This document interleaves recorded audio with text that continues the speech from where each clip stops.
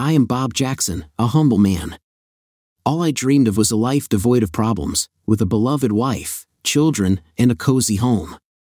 Now, I drive a Ford F 150, a cherished legacy from my late father, which he bequeathed to me 10 years ago. Even then, the car was 15 years old. My father, a professional carpenter and farmer, and my mother, who worked as a maid at the Route 66 Hotel on the outskirts of Bells, Tennessee, raised me in this unusual town. Growing up in Bells allowed me to experience the essence of typical small town life. Bells was so small that when you met the Welcome to Bells sign, you could see the inscription on its reverse side Thank you for visiting. I had the opportunity to attend elementary, middle, and high schools, as well as the Bells Mini Market located in the same building. All these years, I was known by the nickname BJ, and fortunately, the presence of my sister Carrie protected me from the attacks of bullies. This was mainly due to her connections with a local bandit, which made her brother inaccessible to all troublemakers. No matter what, my goal has always been a simple life. School was quite tolerable. I had a small circle of friends, a girlfriend, and a modest car that served me for transportation. Perhaps it was time to think about tuning it, but my real talent was hunting, at which I excelled from the moment I learned to walk, or rather, to stumble awkwardly. I realized that I was holding a gun in my hands. Of course, it was just a pistol with a cork, but it sparked my interest. Therefore, when an army recruiter came to our small town, I realized in my heart that this was my chance to fulfill my dream of becoming an army ranger. My father may not have been thrilled with my decision, but he understood how important it was to make my own way in life. Therefore, after graduating from high school, I gladly joined the Army. My place of service was a base in Bragg, North Carolina, a place that soon became both a training base and a home for me. But when I first appeared before the sergeant, his words cut me like a knife get back on the bus and go home, he barked. He seemed to think Ranger School was exclusively for adults, not for little boys like me. I was a little over 170 centimeters tall and wasn't heavy in weight, but it didn't bother me. I've been used to being underestimated for a long time. But everything changed after that first night in the field when the sergeant realized his mistake. He didn't underestimate me anymore. By the will of fate, it was the sergeant who was in front of the muzzle of my M60. It was late at night, three o'clock in the morning, and I alone discovered the movement of the sergeant in the forest. In the process of studying at Ranger School, I exceeded all expectations and became the best student in my class. I couldn't help but feel immensely proud, knowing that I had made my parents really proud of me. When my term of service in the Army was coming to an end, I faced a lot of difficult tasks that made me think about the impressions I received but I decided to keep these thoughts to myself and not share them with anyone. At my last job, I devoted my free time to getting an accountant's degree, during which I met a charming person named Brenda. She had a stunning appearance, blonde hair, and mesmerizing hazel eyes. Her presence couldn't help but attract attention wherever she went. Realizing her attractiveness, Brenda constantly received tempting offers. But Brenda had her own preferences in choosing a man, calm, balanced, and, most importantly, easily controlled. When Brenda met me, she immediately realized that I ideally suited these requirements. The only problem was that I knew perfectly well that she was too much for me, and I behaved accordingly. Whenever Brenda smiled at me, I quickly looked away. If she approached me, I quickly left. Eventually, the day came when I was waiting in the sermon chapel. Brenda noticed me and realized that she had to act quickly to catch me before I noticed her. When Brenda settled on the bench behind me, I expected her presence and quickly turned to face her. Yes, how can I help you? I asked, catching her off guard. Her surprise was quickly replaced by a warm smile, which made my heart melt instantly. Our love story began with this simple communication. From that moment on, we became a couple, inseparable and deeply connected to each other.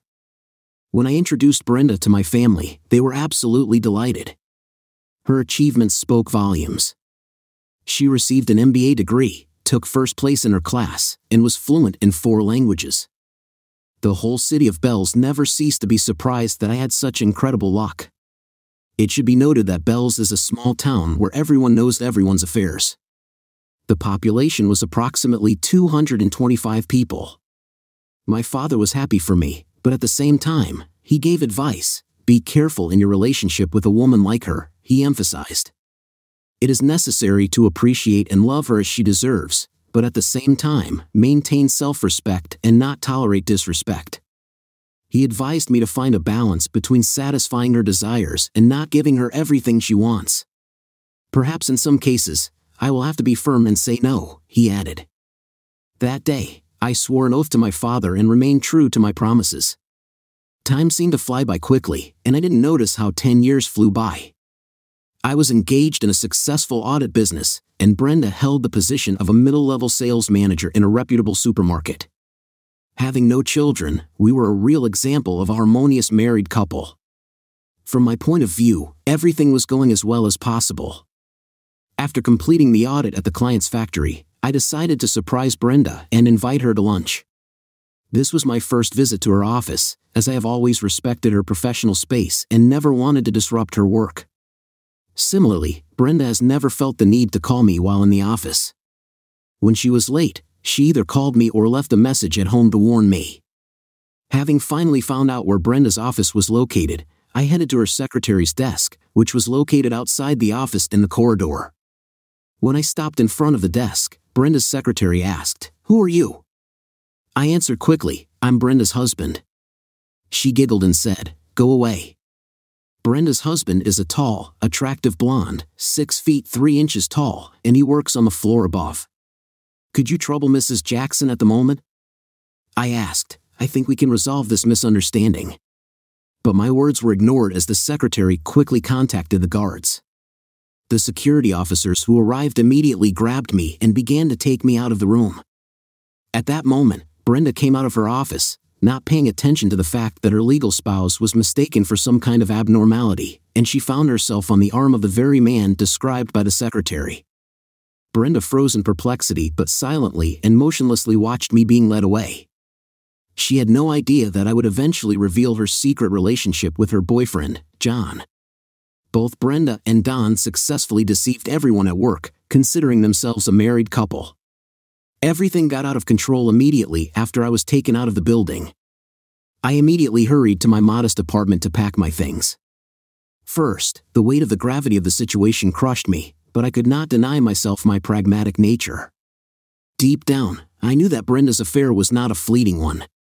If, according to her colleagues, she was married to this man, then their illicit relationship should have lasted for quite a long time.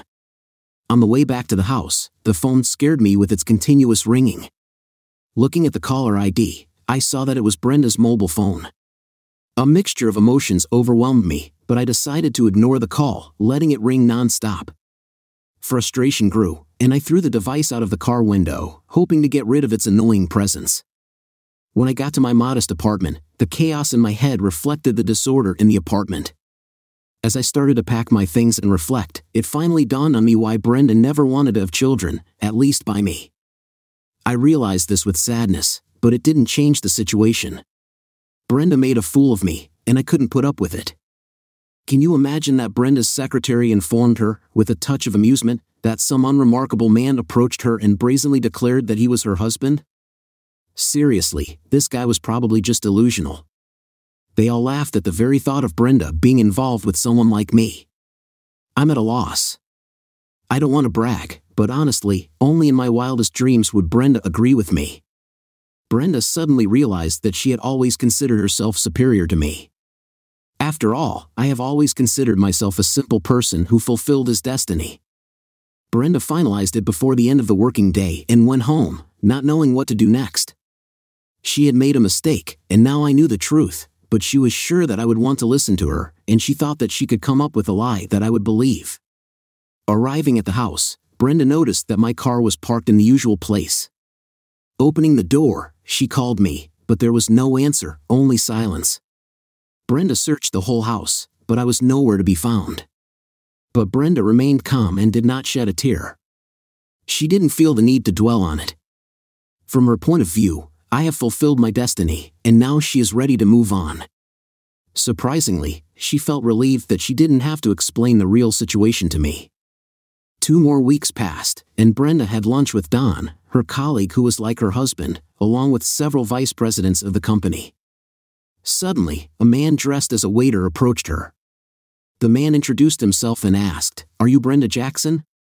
She answered without much excitement, but her curiosity did not leave her. The man handed her the package and simply said, You have been served. Brenda's face flushed with embarrassment. She hastily snatched the envelope and hurried to the lady's room. She was beside herself with rage because of how quickly it had happened. The audacity with which he served it in front of everyone during dinner was simply infuriating. When Brenda returned from the toilet, she was relieved to realize that Don had managed to resolve the situation. He informed the vice presidents that it was just an insurance case, saving her from further humiliation. Brenda was grateful for Don's presence. Three months later, Brenda was sitting in the lawyer's office and studying the divorce papers. She didn't ask him anything, but Brenda stumbled upon unpleasant facts herself. From the lawyer's explanations, it became known that I had successfully sold my company, which Brenda was interested in. Naturally, Brenda demanded to know the identity of the buyer, to which my lawyer calmly replied, it was Carrie, the boy's sister. Surprised, Brenda asked at what price the company was sold, to which he also calmly replied, she paid $2. Then he promised Brenda that she would receive her share in the mail as soon as the divorce was finalized. At the same time, a smug grin appeared on his face. Confused and offended, Brenda turned to her lawyer, asking how I could do this because the company is considered common property, which gives her the right to have. Disappointed, she started screaming and asking why I wasn't there. She asked insistently, louder and louder. My lawyer looked at her cheerfully and grinned. Then he took his briefcase, handed the business card to her lawyer, and quickly left the office. Meanwhile, I returned to my late father's house in Bells and began discussing with him a possible real estate offer. After my father's death, the farm was jointly owned by Carrie and me. There were rumors about Nissan's plans to open a plant in Tennessee.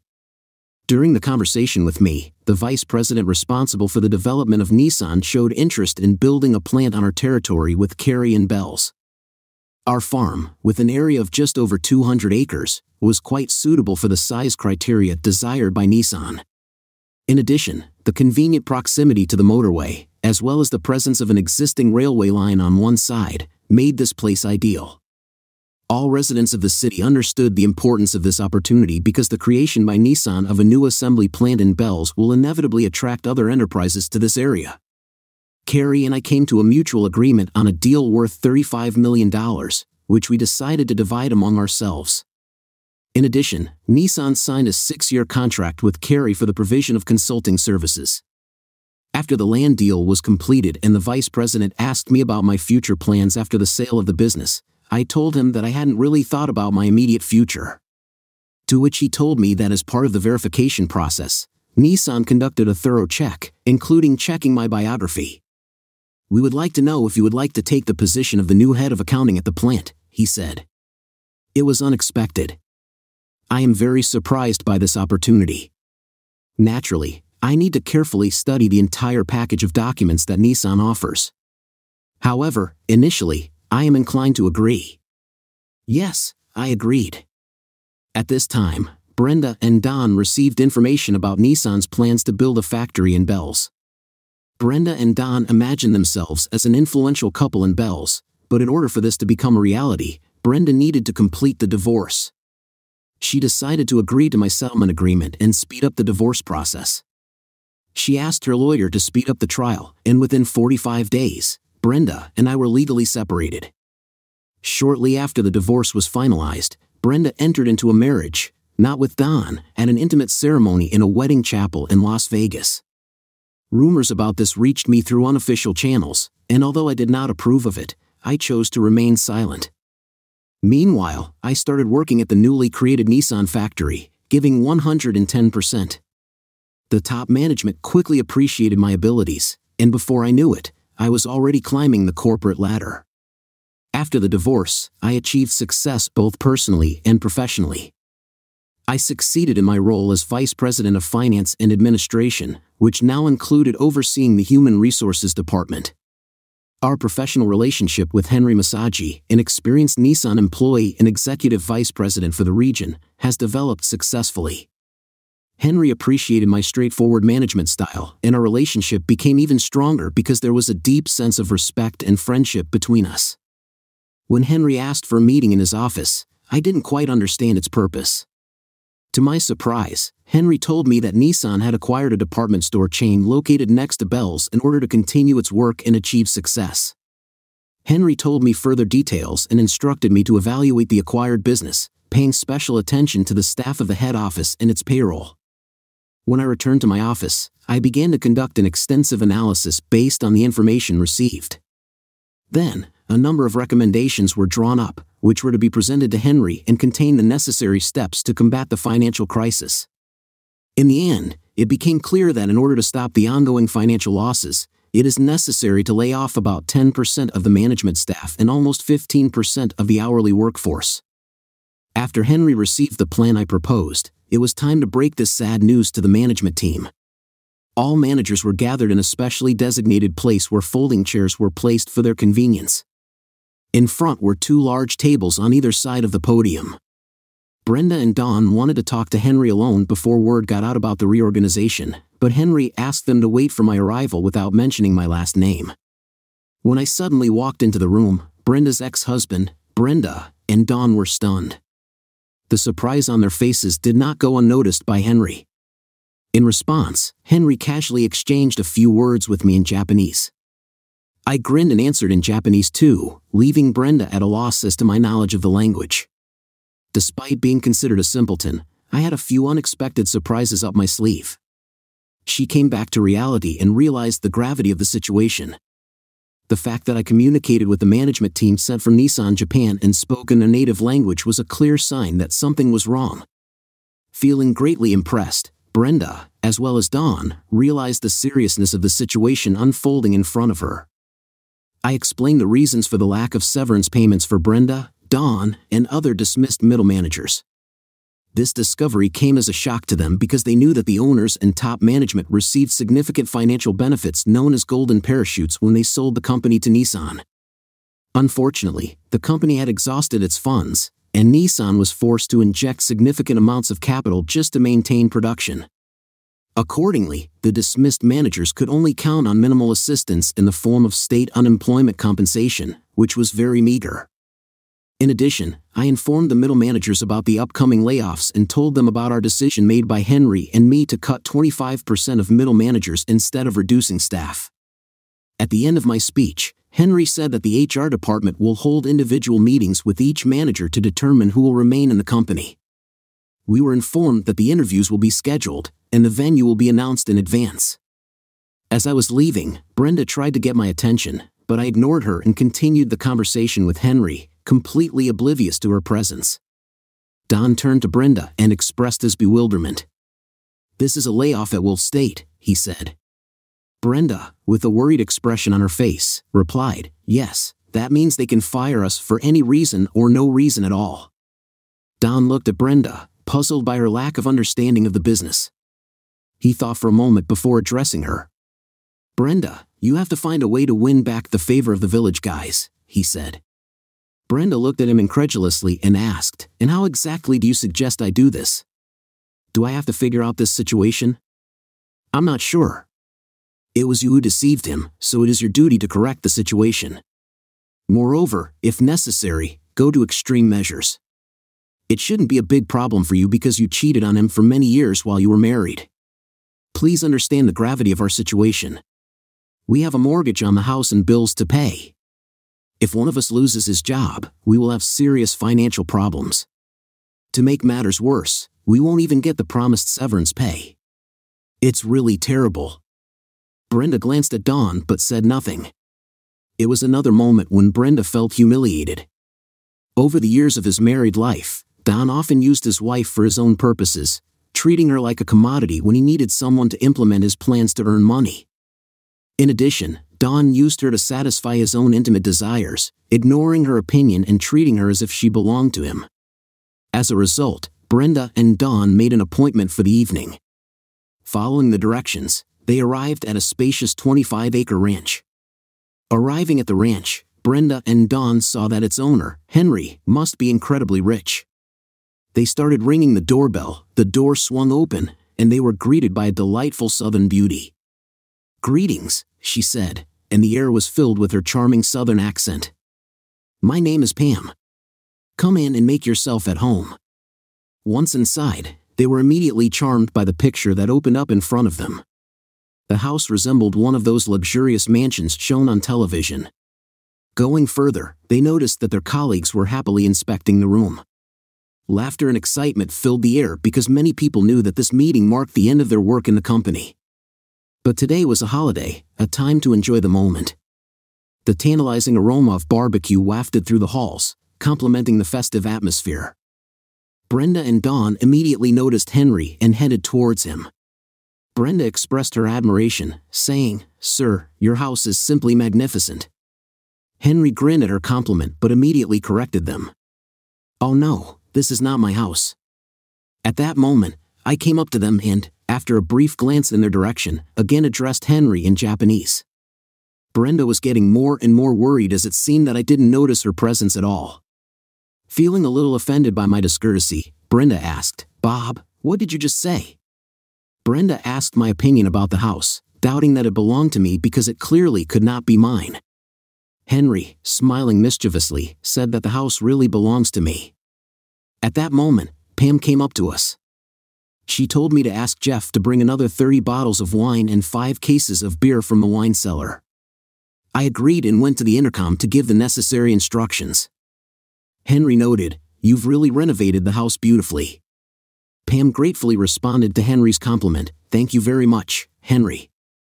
Your kindness is very valuable. Curious, Henry asked about the newly installed pool, and Pam and Henry went to him. Brenda and Don followed, intrigued by what was happening. When they went outside, they were amazed by what they saw. In front of them was a pool located in a grotto, a stunning miracle of enormous size.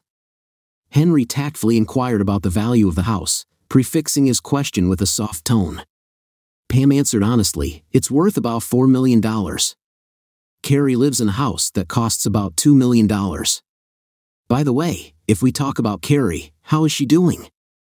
She recently gave birth to another child, and this baby is just adorable. Every time I catch a glimpse of Carrie's baby, I tell Bob that we should also think about starting a family. Coincidentally, I came over just in time to listen to her comment. In a joking manner, I patted her on the back and said, Don't worry, dear, soon we will be expanding our family. In the meantime, let's focus on spending the rest of the evening together. Don made a stupid decision by contacting the wife of a jealous man, which led to serious consequences for him. No wonder Don had a terrible evening. As a result, Brenda and Don were on the list of employees being cut. In the end, Pam fulfilled her long awaited wish. She gave birth to twin girls, and a few years later, we had a son who looked very much like me. A year later, Don and Brenda separated and divorced. One evening, Don returned home accompanied by several colleagues from work, unaware of this. Brenda overheard Don describing her as a person when they first met. The next morning, Don noticed that Brenda had left, leaving behind a note that said, I chose myself, not you.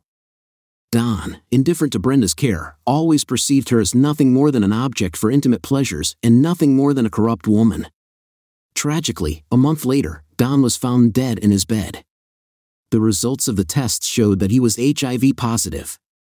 Meanwhile, Brenda was living in poverty with another smug and aggressive man. Her life turned into a real horror. According to my sister, who often saw Brenda at the supermarket working as a cashier, she looked terrible. Carrie said that Brenda had bruises on her face and on her hands. She said it was clear that my ex wife was a victim of domestic abuse. But I didn't want to hear and know all this at all because this woman died for me, and I didn't feel sorry for her at all. She herself took such a step towards such a terrible life. Carrie often told me about Brenda, but I always asked her not to remind me of this person. My sister is very gentle and kind, and she felt sorry for my ex wife. One day, my sister called me again, and she was crying bitterly. Carrie said that Brenda needed help, that she was in a terrible state the man with whom she lived severely beat her and inflicted serious injuries. And now, Brenda cannot move independently and even sit after the brutal beating. She was left disabled and alone without any support. Perhaps you will consider me a cruel person, but I do not feel sorry for this lying, duplicitous woman at all. After talking to my upset sister, I asked her never to mention my ex's name again.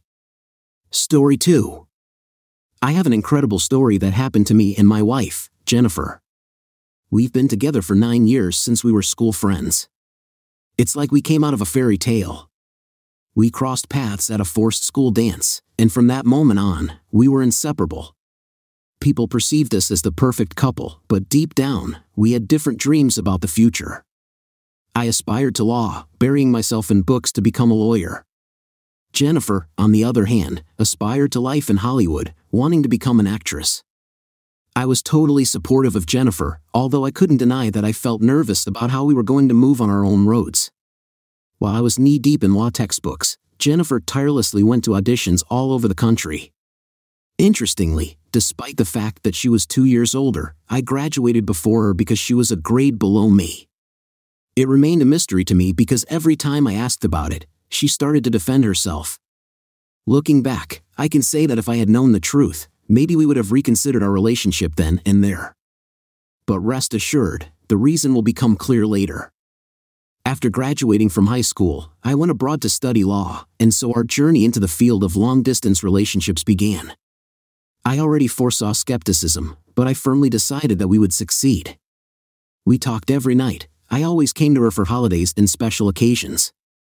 Sometimes she was unavailable for communication for various reasons, but I didn't dwell on it but after graduation, she broke unexpected news to me.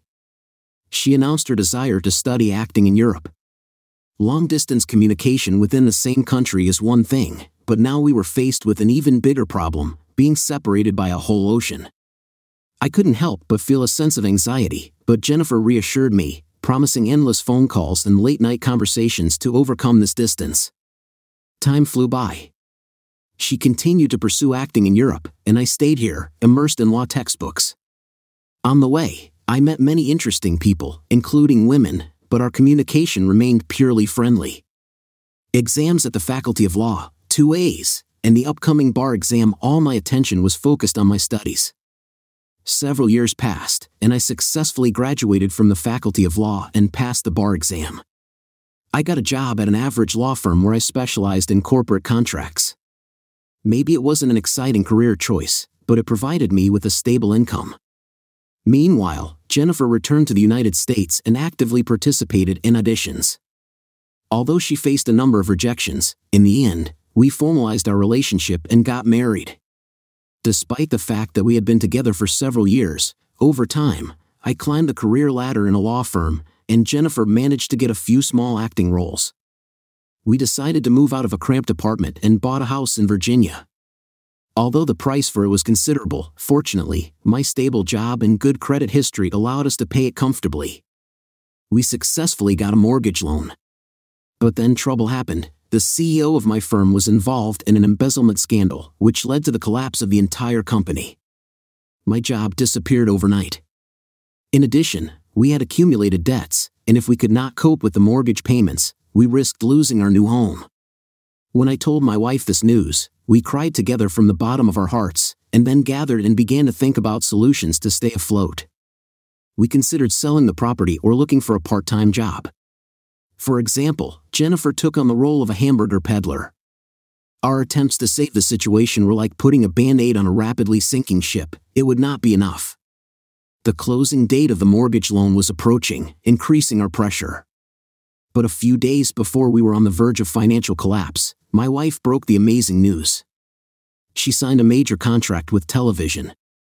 She kept silent about the details, emphasizing their top secret nature, and said that it would not even be made public.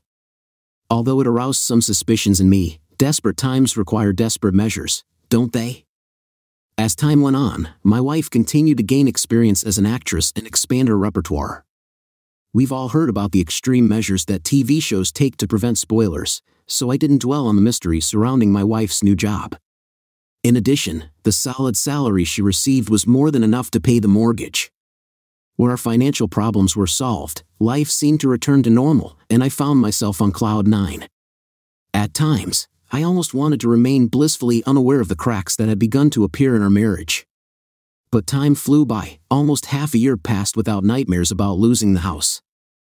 We finally got rid of this burden, or so it seemed. Just three months later, I managed to get a new job at a small law firm that was more concerned with protecting the interests of the public rather than corporate activities. Although the salary was lower, I felt like a full fledged assistant to ordinary people in need of help. At the same time, my wife's acting career seemed to have soared to new heights. Her salary grew every year, but she kept her professional endeavors secret, providing little information about her performances. As time went on, I couldn't shake the growing suspicion that something was wrong.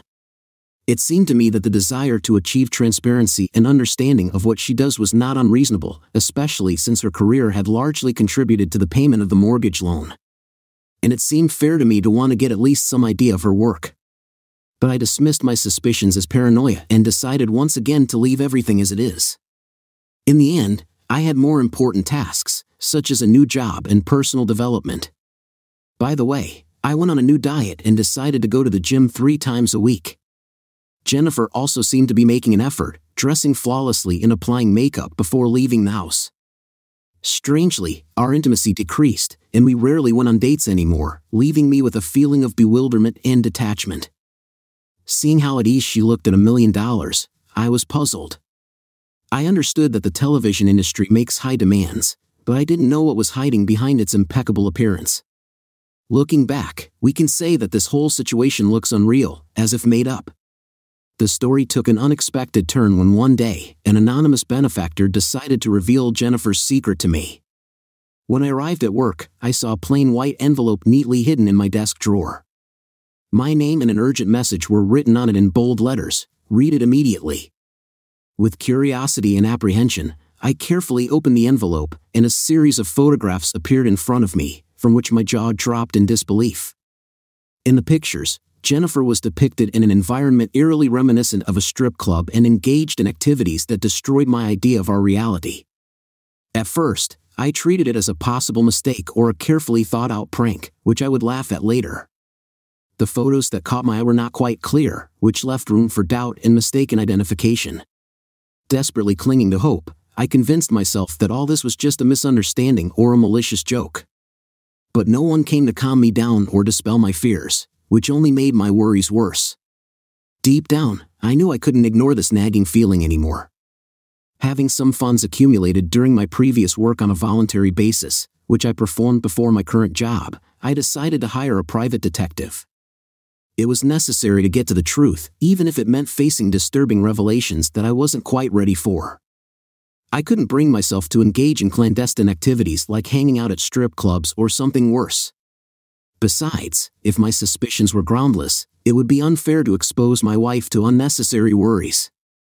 But I knew I had to get to the truth, whatever it was. I couldn't afford to hire a private investigator, but I appreciated the thoroughness. The detective got to the origin of the photos, not afraid to get his hands dirty in search of answers. A day later, a detailed report and high resolution photos were placed on my desk, leaving no doubt. It was clear in black and white that my beloved wife, Jennifer, with whom I had lived for nine wonderful years, played the main role in an elite club of lovers of intimate entertainment. My heart ached, there was a strong pressure in my throat, and it became difficult to swallow. I felt like a blow was being rapidly delivered to the chest. The shock of what I learned hit me like an icy wave. Nine years of marriage, dreams of starting a family after we paid off the mortgage, all this now hung in the balance. I felt deprived of sight, I was overcome by a sense of betrayal. It was impossible to imagine that Jennifer, my life partner, could be involved in such a secret life. I was desperate for answers. That evening, I sat alone in the living room and waited for her to return, hoping that she would offer some explanation for the broken trust between us. The night went on, and several hours passed before I heard the sound of a key turning in the lock. When she came in the door, I saw a flash of surprise on her face that I was not asleep. I was usually sound asleep by the time she got home. Looking back, I should have realized that this was a wake up call, but sometimes clarity comes only with hindsight. The weight of evidence weighed on me, but I wanted to give her a chance to explain. Taking a deep breath, I asked her directly why she worked in a club for lovers of intimacy. Her reaction was instantaneous. She froze in place as if caught off guard. No, I don't work in such a place. Why do you say that? Confused Jennifer asked, where my accusations came from. She couldn't understand why I made such conclusions. Despite the outburst of anger, I managed to remain calm, insisting that she be honest with me. I did not want to leave this issue without attention, but Jennifer continued to deny her involvement in what was happening, casting incredulous glances at me as if doubting my sanity. Not wanting to let her dismiss my concerns, I took the plunge, pulling out the incriminating photos. I spread them out one by one, carefully watching her reaction as her eyes scanned each image. I noticed that her face was losing color, and an unconditional sense of guilt emanated from her like the intense heat of an oven. At that moment, all my doubts about the authenticity of the photos evaporated. To my surprise, Jennifer didn't lie or defend herself anymore, she just collapsed in front of me, sobbing uncontrollably. Through tears, she confessed that her participation in this club was connected with a desperate attempt to save our house for the sake of our future together. She expressed deep shame and remorse, acknowledging to what depths she had sunk. She begged for understanding, explaining that she couldn't bear for me to find out the truth and wanted to hide it. But despite her tearful pleas, the feeling of betrayal only intensified, disturbing all my instincts. Disappointment and annoyance were born in me when I pointed out to Jennifer that her fear of my disappointment did not give her the right to betray me in this way. Her apology looked like a weak attempt to cover a deep wound, just a plaster on a broken bone. She tried to justify herself by saying that she never wanted to hurt me and did not want me to find out her secret. I couldn't believe what I was hearing. How could she expect that such an excuse would be enough to compensate for the pain she caused? My questions moved to the future. I asked about her plans for the future. I reminded her that I got a new job a few months ago, and we could have handled the mortgage if she hadn't resorted to these night outings. She seemed confused, unable to give a satisfactory explanation. At that moment, I realized that I didn't need to hear anything anymore.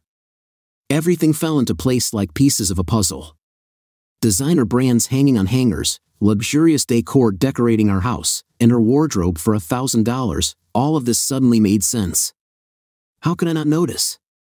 This reality hit me like a hard punch in the stomach. Jennifer was no longer a modest actress chasing her dreams, she had turned into a highly paid object of desire. One question hung in the air did she enjoy all this money, fame, and everything that went with it?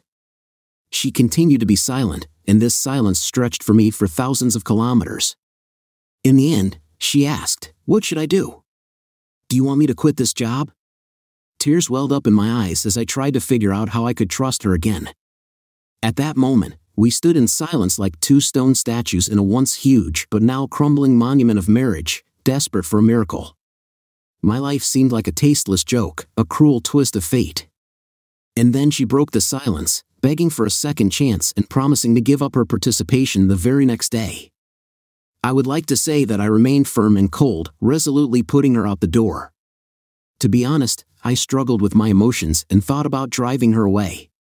It would be a justified reaction, the right thing to do, and at times, I was very close to doing so. Divorce was a word I couldn't bring myself to say. The deep rooted connection between us, the shared experience that shaped us, all this did not allow me to let them go so easily. Instead, against my better judgment, I said to myself, good. I decided to give her a second chance, albeit with caution.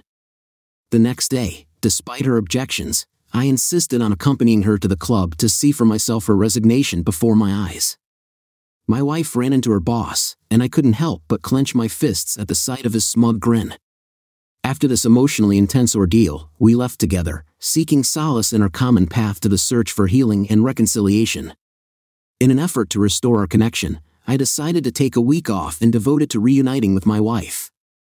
We returned to those moments of our youth when we were teenagers in love, remembered cute trifles, played silly pranks, and laughed. It was a nostalgic feeling, and for a fleeting moment, I allowed myself to believe that our relationship could be saved. Strange as it may sound, but it was thanks to my wife's previous work in this terrible place that we were able to keep our house. I, traditionally considered the breadwinner of the family, found it difficult to accept. But she quit right before my eyes, and now we had the opportunity to devote more time to each other, renewing the desire to restore what was strained. Another week passed, and my wife began actively looking for new vacancies. At the same time, my law firm assigned me to conduct a lawsuit with a high bid of a million dollars, for which I had to go to Indiana. The prospect of long distance trips again caused me a feeling of anxiety. Having received the promises and guarantees of my wife, I plucked up the courage and agreed to this job. At the airport, we passionately said goodbye, making promises to each other, hugging and kissing tightly. As I hit the road, I was overcome with excitement about my new professional role and anxiety that I had trusted Jennifer again. And so, I stood at the crossroads, ready to start a new chapter in my career and in my relationship. Faced with a choice either to trust my wife, who would remain faithful during my absence, or to terminate our marriage, I decided to trust her. I understood that someone might condemn this choice, but I believed in the possibility of redemption and growth for both of us. But at the very moment when everything began to work out as well as possible, Murphy's Law made itself felt again.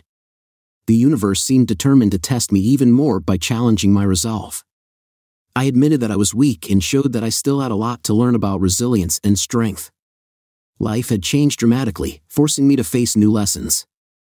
In the first few weeks of working in a new place, representing the interests of teenagers who found themselves on the verge of imprisonment in a colony, I realized that work brings true satisfaction. I was pleased to protect the interests of these vulnerable people, giving them a chance for a better future. It was the most meaningful job I was looking for.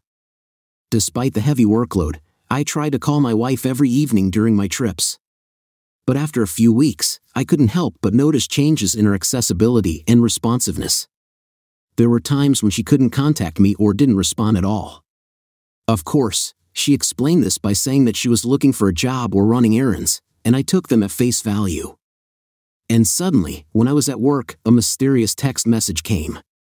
It was from the same anonymous angel who first warned me about Jennifer's secret life. Just the sight of this message again caused a surge of anxiety, and my heart started pounding again. Wasting no time, I quickly responded to the mysterious message and arranged a meeting at a local restaurant for the following Tuesday. The days leading up to this fateful day seemed to fly by painfully slowly, but finally, Tuesday came. After finishing work at 5 p.m., I went to the restaurant. Arriving a little earlier, I looked through the menu and randomly selected a dish, although my attention was far from focused on the food. My attention was focused exclusively on the mysterious guest who was to unravel my life anew. It was already about six in the evening when an elegant woman gracefully entered the restaurant door. When she approached my table, I recognized her as the one I was waiting for. With confidence, she introduced herself My name is Nancy, and you are probably Jessica's husband. Having confirmed her assumption, I couldn't help but feel a surge of curiosity. How did she get these defamatory photos? Sensing my intrigue, Nancy sighed heavily and replied, We used to work together in the same club. She began, her voice filled with memories. We worked the same shift and often spent breaks together. I worked at the club for three years before she came. I remember helping her settle in, completely unaware that she was hiding her marital status.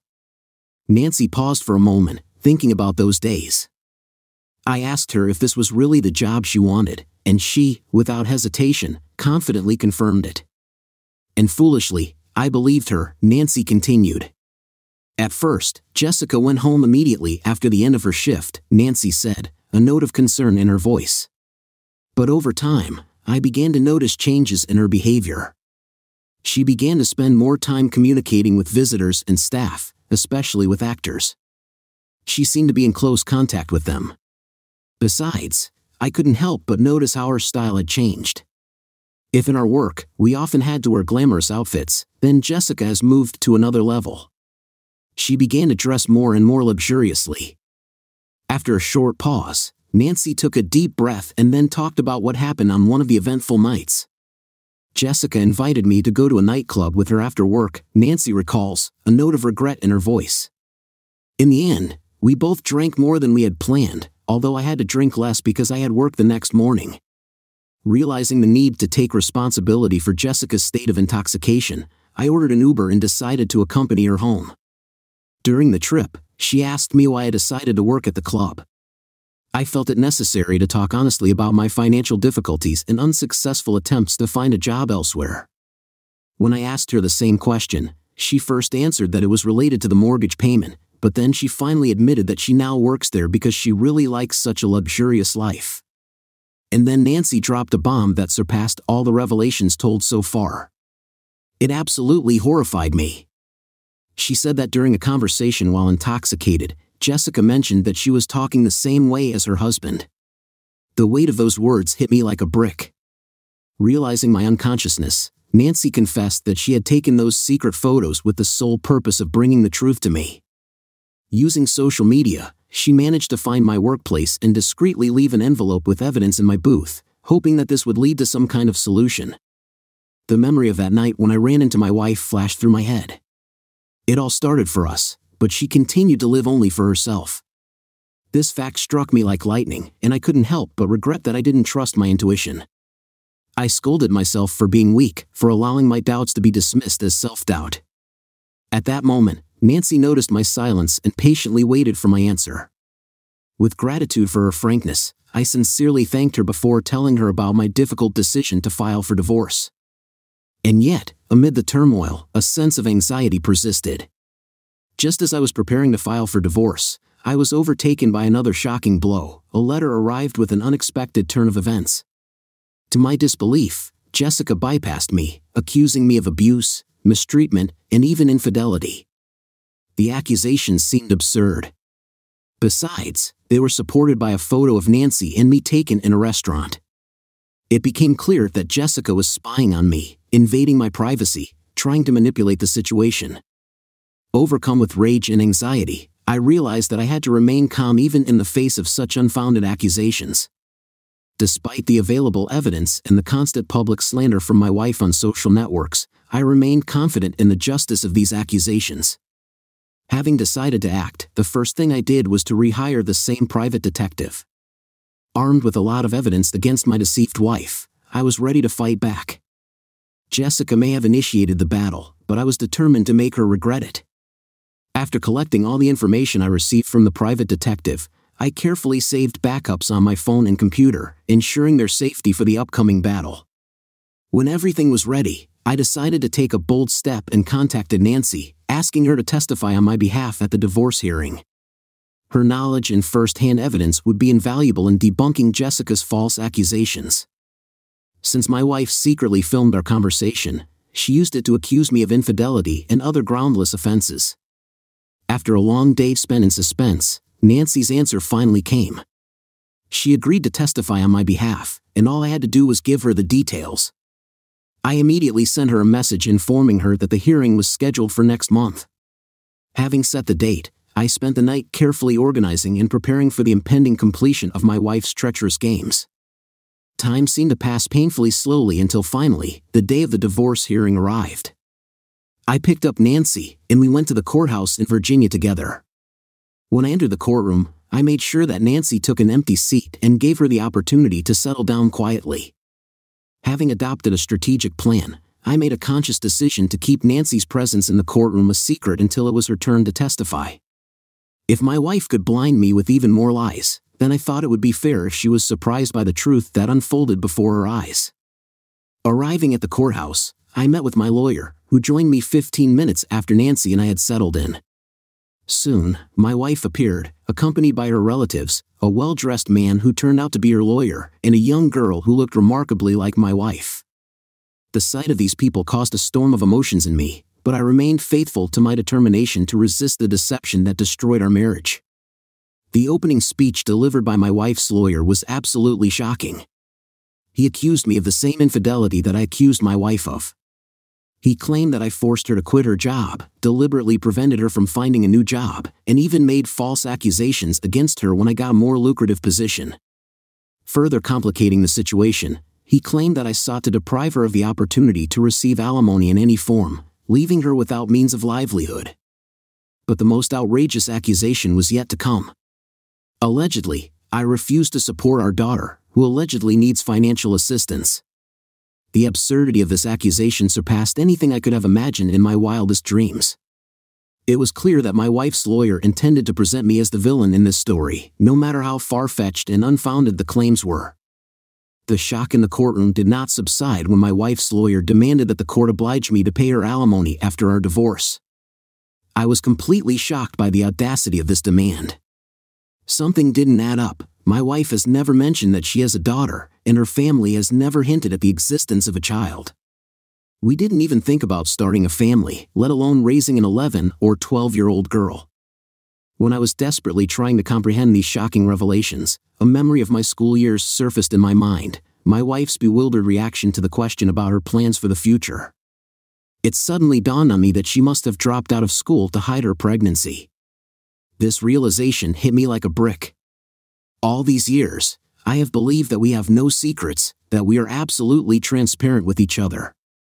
But now, faced with this revelation, I couldn't help but question everything I thought I knew about our relationship. Despite all her grandiosity, she managed to keep this crushing secret in plain sight all these years. As much as it shocked me, there was no time to think. The divorce proceedings were already in full swing, and I realized that I could not afford any vulnerabilities or weaknesses. I had to gather all my strength and fight for my life with this newfound determination. Our moment had come, it was time to appear before the judge and state our position. My lawyer cleared his throat, ready to address the court and state our position. The lawyer's allegations of infidelity on my part have no basis whatsoever. The submitted photos and questions do not provide grounds for such an accusation. On the contrary, we have concrete evidence indicating that it is his client who leads a debauched lifestyle. I ask the court to consider evidence A, B, and C which are clear and indisputable evidence of the open confession of my client's spouse to deceptive behavior caused by financial motives. These actions are in direct contradiction with the traits that one would expect from a trustworthy and honest person. It is embarrassing that the opposing party's lawyer distorts our actions and my client's actions in this way. We strongly dispute the claim that the defense needs financial support. Document D clearly indicates that she has a lucrative place of work and is quite capable of supporting herself. Any claims to the contrary are misleading and require further investigation. If her lawyer insists otherwise, we require him to provide bank documents as proof of his rightness. The truth will be established as a result of a thorough study of the facts. My client is caught in a web of deception and manipulation, and he wants to get out of it without any financial losses. We are confident that the court will recognize the validity of this request, my lawyer firmly stated. The judge paused, giving time for reflection before proceeding to examine the evidence presented. Every piece of evidence was carefully studied, and the courtroom held its breath in anticipation. When the last exhibit, Evidence D, was announced, which presented indisputable proof that my wife is currently working, her face lost color. The weight of the evidence and the understanding that she had deceived were felt in the hall. The photos presented without a doubt depicted my wife, who just a week ago was actively working in a club for thrill seekers, extravagantly dressed in expensive outfits and jewelry. This revelation seemed to have confused her lawyer and caused distrust in her own family when the dirty web of deception she had woven unraveled in front of everyone. I couldn't help but feel a surge of triumph throughout this ordeal. I alone withstood all the blows, and each of them turned out to be merciless. Admitting my guilt for giving her another chance and choosing the path of weakness, I felt a deep lack of remorse. It was my turn to strike and regain control of my life. The final and most devastating blow was dealt when my lawyer called Nancy to the witness stand. When Nancy got up, my wife's face turned even paler, and I couldn't help but smile. With each question from the lawyer, Nancy confirmed her identity and admitted that she had previously worked in the same club as Jennifer, my once beloved wife. Under relentless questioning, Nancy told how Jennifer, while intoxicated, shamelessly flaunted her newfound wealth and revealed her own lies to her husband. The courtroom was taken over by Nancy's testimony, which further revealed the depth of my wife's deception. When my lawyer asked about a specific photo of Nancy and me, she calmly explained that she had contacted me to report Jennifer's infidelity. In addition, Nancy explained that she had nothing to fear since she had already resigned from the club. She made it clear that the photo presented was not proof of any infidelity on my part. In support of her words, she presented an audio recording of our conversation. As the tape played in the courtroom, my wife's face became more and more unhappy. It was obvious that she assumed that I didn't have any proof, and if I didn't, then maybe I would have succumbed to her deception. The recording served as a powerful means of exposing her lies and confirmed my desire for the truth. When the truth was revealed and there were no more shadows hiding it, my wife's facade collapsed in front of everyone. The audio recording presented as evidence was the last blow that left no room for doubt. When the recording ended, the judge turned his stern gaze on my wife and her lawyer. In a measured tone, the judge addressed both sides. Both sides presented their arguments regarding alimony. If you want to make any additional statements, please do so before I make my decision, he said. Anticipating a possible outburst of anger from my wife, I prepared myself, but to my surprise, she was silent, burying her face in her hands. Obviously, the weight of the truth had fallen on her, and she had no words left. When my wife's family and even her own lawyer cast disappointed and disgusted glances at her, a heavy silence reigned in the courtroom. All eyes were on her as the whole truth dawned on her. In this gloomy atmosphere, the judge broke the silence again. As for alimony, the judge began, I believe that the plaintiff does not have sufficient grounds to demand their payment. The weight of his words hung in the air, marking the final decision in this turbulent process. The final decision of the judge granted the petition for divorce. In an instant, I was officially divorced and got the freedom I so longed for. As I left the courtroom, a wide grin spread across my face, reminiscent of the smile of a child who has just gotten away with something naughty. From that moment on, I never spoke or saw Jennifer again. This moment had a bittersweet tinge, although, in truth, it was primarily sweet. The bitterness was from the realization that I had spent so much time and effort on a person like her. At the same time, I could not deny the great gratitude I felt for my private detective. He really was my savior, who saved me from an avalanche of lies and deception, who revealed the truth that set me free. He not only saved my wallet, but also saved me from a huge emotional shock. If there had been a Nobel Prize for saving gullible husbands, he would undoubtedly have won it. This victory is dedicated to him, the one who tirelessly listened and diligently unraveled the web of deception. I am eternally grateful to him. Later, it turned out that this lying woman, whom I loved and trusted so much, gave birth to a daughter when I was studying abroad, from some visiting guy whom she no longer saw after their intimacy. This girl was raised by my ex wife's parents, who hid the truth from me. I hope that after everyone, including her family, found out how deceitful and vile this woman is, they will no longer want to communicate with her, and I sincerely hope that in the future, she will live a terrible and difficult life. I think she deserves it. Story 3 the story I want to share happened in 2021, that is, two and a half years ago. I want to keep my identity a secret because this story is not related to me and my husband. We have lived in a happy marriage for a wonderful 14 years. Instead, an unpleasant incident occurred between my mother, a delightful 59 year old woman, and my father, a wise 63 year old man. This once again reminds us that infidelity is not peculiar only to young women, sometimes, older women can also be involved in it. Ironically, before this incident, they had lived in a happy marriage for more than 38 years. Everything changed last Thursday, changing the rest of my parents' lives. Three years ago, they decided to retire to the picturesque state of Arizona. There, they purchased a posh plot on the riverbank and invested in a new diesel truck equipped with a camper. From October to April, they enjoyed the joys of Arizona life. They devoted the rest of the year to interesting travel, often going to cooler places such as mountainous areas or the captivating West Coast. And they certainly devoted four to six weeks to communicating with my family against the backdrop of the sublime landscapes of beautiful Utah. In order to provide maximum comfort to my parents during their visits, my husband took the initiative to organize a comprehensive parking for vans on our territory they have convenient access to electricity, water, and a septic tank, which allows them to fully enjoy their vacation. Their presence on our large 16 acre plot never ceases to delight my husband, children, and me. Similarly, we look forward to our trips to their Arizona abode, which always turn out to be fascinating with their boat and jet ski at our disposal.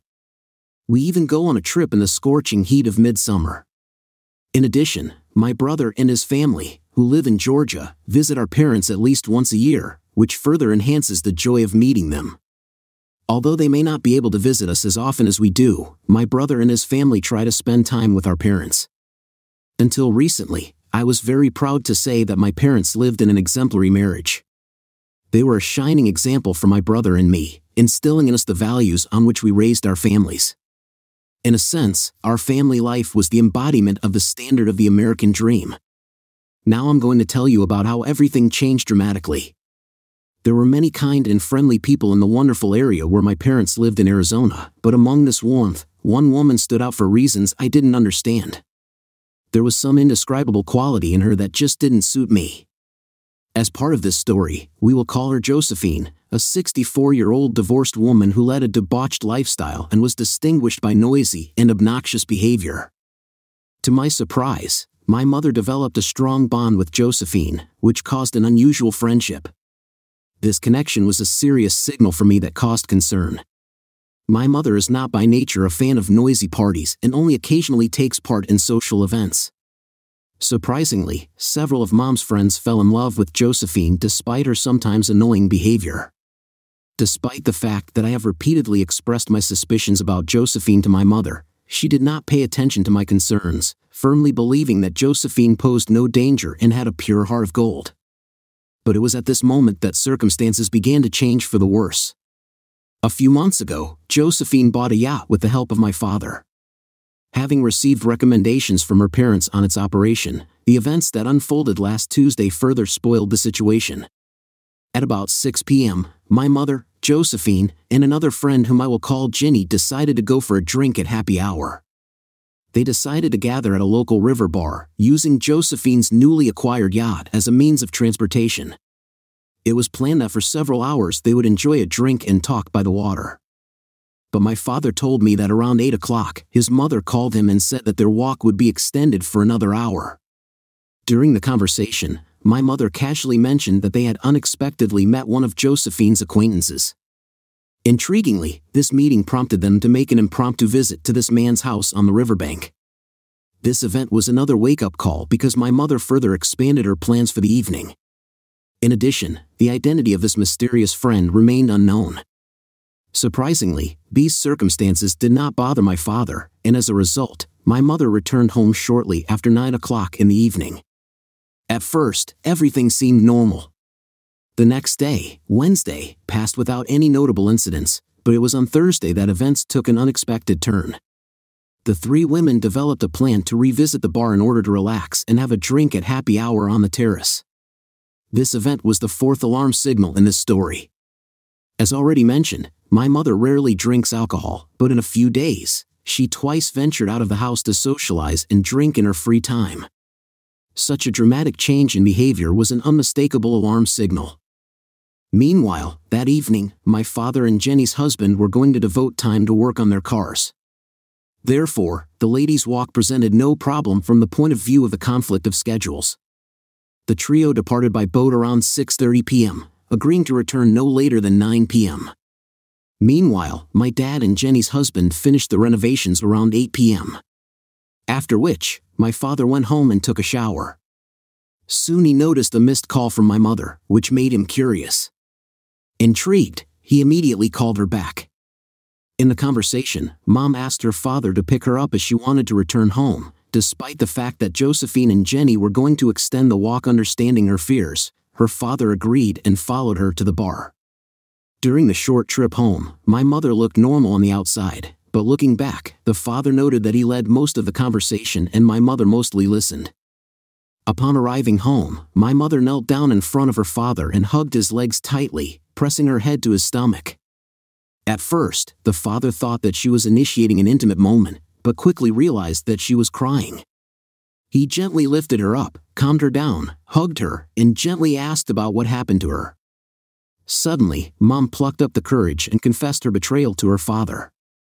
Naturally, he was caught off guard and could only reply with a puzzled what. When the confirmation sounded in their conversation, the father was in a state of deep shock, unable to fully realize the severity of his wife's confession. Despite a shock, he remained a support for my mother, hugging her tightly as she cried inconsolably. This revelation was simply incredible in scale. After 38 years of marriage and 40 years of living together, their union up to this point seemed flawless. No wonder my father was in a state of shock in the face of such a deep betrayal. Gradually realizing the gravity of reality, the father made the difficult decision to postpone their conversation until the morning, gently persuading his mother to take a shower.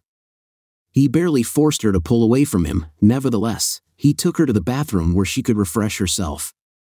After she left, her father calmly told her that she would sleep in a separate bedroom that night. Despite her pleas and desperate requests to join her, he remained adamant in his decision, assuring her that they would sort out the situation in the morning. During the night, my mother could not calm down and fall asleep. Her thoughts were absorbed by the weight of her actions. Throughout the restless night, Mom kept trying to look in the bedroom door, feeling an urgent need to talk to her father. Each time, he lovingly begged her to rest and assured her that they would definitely talk in the morning. Eventually, fatigue took its toll and she fell asleep around 5:30 in the morning. The next morning, she woke up at 8 o'clock and saw that her father was not there, and he had moved all his personal belongings to a camper overnight. This act symbolized his final decision to break up with her, which meant that he no longer wanted to continue their relationship. The full weight of his disappointment became clear, he had reached the point where his connection with her became irreparable. In the face of my mother's infidelity, my father showed firm determination to deal with the situation. Despite the fact that they had lived together for four decades, the father coped with this difficult situation with amazing endurance. He skillfully moved his things without causing mom any trouble. Their bedroom had a sliding door that conveniently opened onto the patio, which allowed him to discreetly collect clothes and personal belongings and load them into the van before leaving. At first, my mother tried to contact him by phone, but he did not answer. Instead, he chose to communicate with her via text messages, setting the tone for their further conversations. On the morning of April 9th, at exactly 6 o'clock, the official separation of my parents took place. This news knocked mom out of her routine. In desperation, she dialed her father's number again, and this time he answered in a calm manner. He repeated the words written in the message. He said that he was filing for divorce and would live in a camper until the process was completed. Despite my mother's requests to enter into a conversation with him to give her an opportunity to explain herself, he made it clear that he was not interested in this. In the last conversation before the end, my father told my mother that she would receive information from his lawyer as soon as he hired him. In addition, he said that he had already contacted Jenny's husband, who was at the party with my mother and Josephine at that moment. Although the details are unknown to me, it seems that Jenny's husband found out about her infidelity and subsequently kicked her out of the house. Jenny is currently seeking temporary refuge with Josephine while they are going through this turbulent period. After talking with my mother, my father turned to my brother and me to tell the bitter news. At first, we were taken aback, thinking that this was some kind of evil joke, but when the seriousness of the situation became clear, emotions overwhelmed me, bringing me to tears. Since then, my mom's emotional state has deteriorated significantly. During the last week, in search of my father, she stubbornly traveled from one campsite to another, covering an amazing distance of more than 1,500 kilometers. My brother and I know where my father is, but we promise not to tell her about it. My brother and I stand firmly on my father's side, providing him with constant support in this difficult situation because he is undoubtedly a victim. At the same time, we are worried about our mother. Her unbalanced behavior, lack of appetite and sleep, as well as the frantic search for her father, make us fear for her well being. The constant fear that she may get into an accident, have a heart attack, or even harm herself haunts us, especially since she has repeatedly spoken about her unwillingness to live without her father. Now we are faced with an urgent question is it worth revealing our father's whereabouts to lessen our mother's anxiety? But given that our Father has explicitly asked for confidentiality, it is important to respect His wishes and maintain the trust He has placed in us. If we report His whereabouts, it could jeopardize our trust and relationship with Him. Although we can inform our mother of His whereabouts, it may bring her temporary peace of mind, but it can also hurt if she breaks her promise and starts looking for Him. Ultimately, our priority should be to support the father in this difficult time as well as ensuring the well being of the mother in other ways. In this difficult situation, where our father was completely shocked by our mother's actions, it is very important that we respect his request for confidentiality and maintain his trust.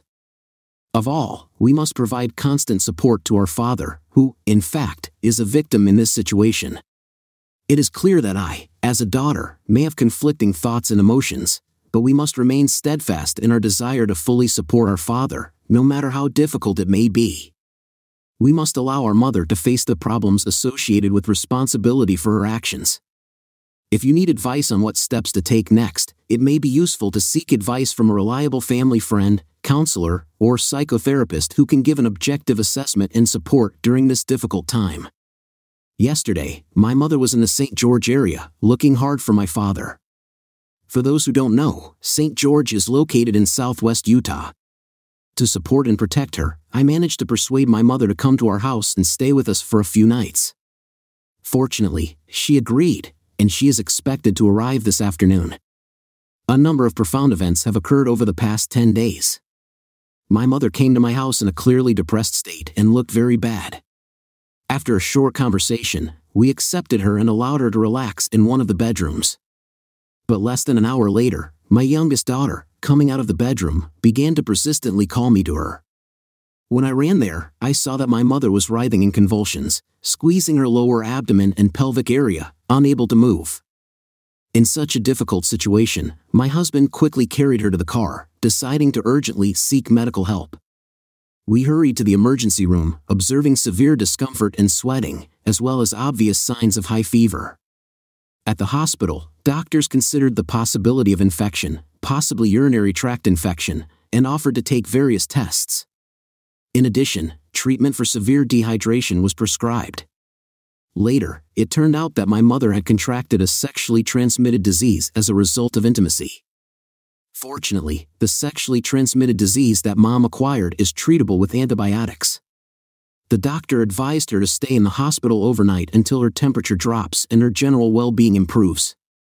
Unfortunately, after 48 hours, there was no visible progress in her condition. At that moment, the situation changed for the worse. The doctor expressed fears that she may be dealing with a drug resistant type of venereal disease, which has become increasingly widespread in recent years. In this regard, she was prescribed a combination of potent antibiotics. After five days, the temperature dropped and the condition became stable. She was discharged from the hospital only yesterday. Throughout her stay in the hospital, mom often asked about dad, wanting to know if he had contacted her to inquire about her well being. To be honest, I told her that he hadn't made a single call, but I assured her that I gave him the latest news every day. My family and I visited her every day to support and communicate.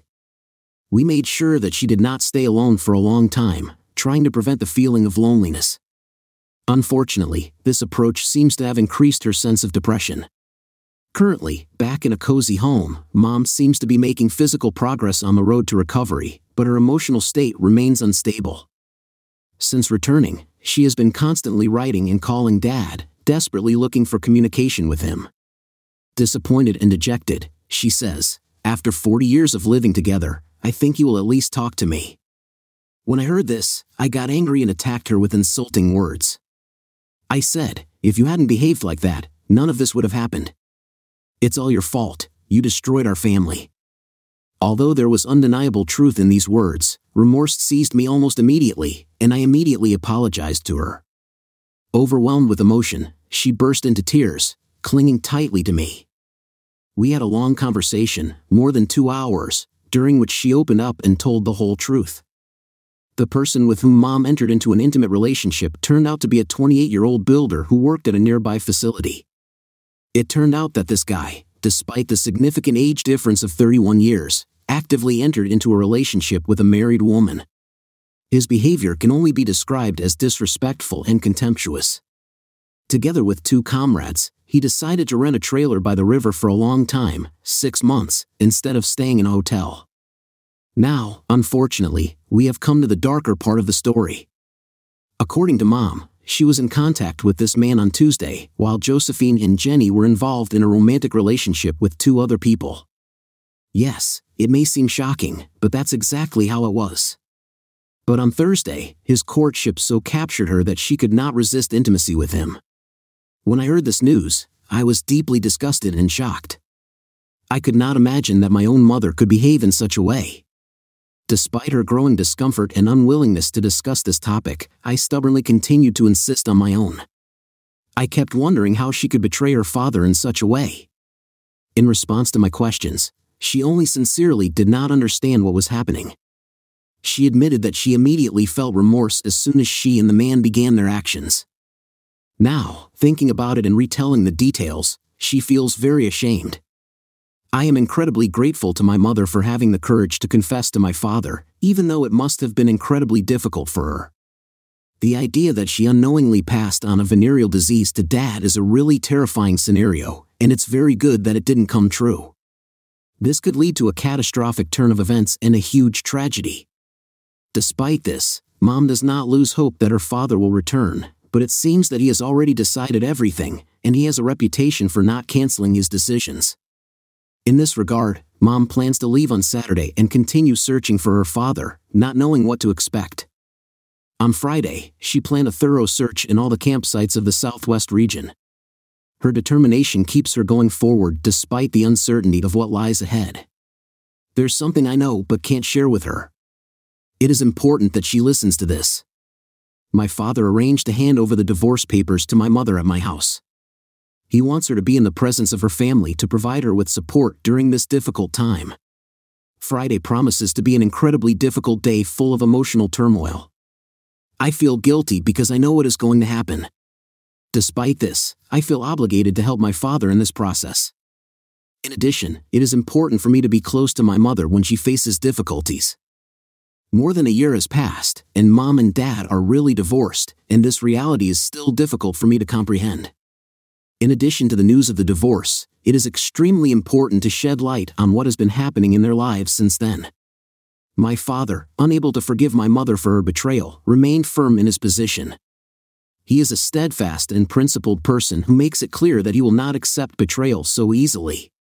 Therefore, he decided not to communicate with his mother except for their meetings during the divorce proceedings.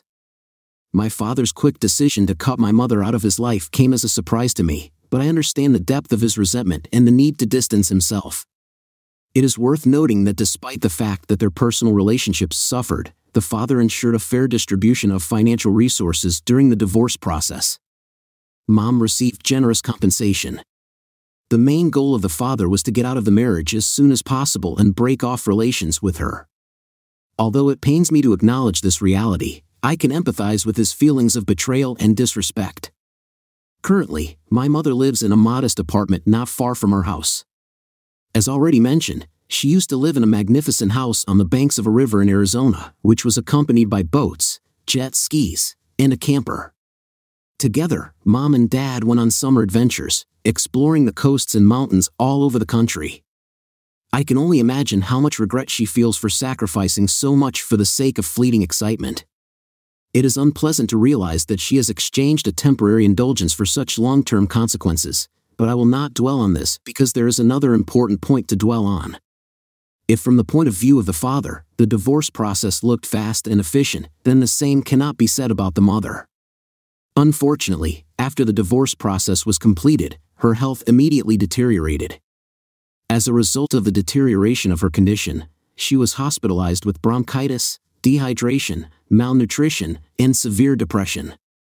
As a result, she had to spend three days in the hospital where she received treatment and medication to address mental health issues. The prescribed medications, as it turned out, had a positive effect, stabilized her mental state, and led to calmness. At the same time, against the background of these difficulties, she received an additional test in the form of a possible diagnosis of lupus, which was probably provoked by excessive stress associated with divorce and the loss of her father. According to the doctor, severe stress can weaken the immune system, which leads to an exacerbation of diseases resembling lupus. Considering that mom was struggling with sexually transmitted diseases and bacterial bronchitis, it is obvious that her immune system is currently weakened. In this regard, the doctor gave my mother individual recommendations aimed at strengthening immunity and effective management of stress levels. To restore control over the overall well being, mom needs to actively engage in relaxation and stress reduction. It is encouraging that she has made remarkable progress in her recovery over the past six months. Unfortunately, mom's current condition is far from the strong and calm woman she once was. Now, she looks fragile, broken, and deprived of her former vital energy. Despite this, a few months ago, I managed to get her a job at a craft store where my friend works as a manager. It is noteworthy that she copes with her duties perfectly and receives praise for being an outstanding employee. If she's lucky, this job will help her find a new purpose, but the harsh reality remains grim. She has lost many of the benefits she once enjoyed. Currently, mom is taking medications prescribed by a doctor to cope with her condition. The constant struggle with stress is exhausting, but she tries hard to keep her emotions under control. Her housing situation has also changed significantly. Now, she lives in a modest apartment not far from me. At the age of 59, she returned to work in retail, which marks a dramatic change in her life. But let's switch the focus from mom to dad. Apparently, he does not waste time in vain, enjoying his newfound freedom. He has completely switched to a nomadic lifestyle, traveling on his own in his camper and seems to be enjoying his free state. My father has a deep love for nature and is fond of exploring new places. Over the past six months, he has started a relationship with a woman, and it seems that they are developing into something significant. But I advise him to be careful, given the recent dissolution of a 40 year marriage with my mother. Although I have met her many times and can confirm her good natured nature and her attitude towards my father, there is one curious point that it is difficult for me to express without sounding ironic she is much younger than him. They are united by a passion for travel, as the girl is a blogger on YouTube and talks about her adventures. Over the past four months, Dad and his girlfriend have gone on various hikes across the country. Although she doesn't talk about my father on her YouTube channel, she mentions him in some of her videos. Their relationship seems really strong, and Dad himself says that he is happier than ever before. But despite his newfound happiness, he reassured my brother and me that he was not going to get married again. Interestingly, his girlfriend holds the same opinion.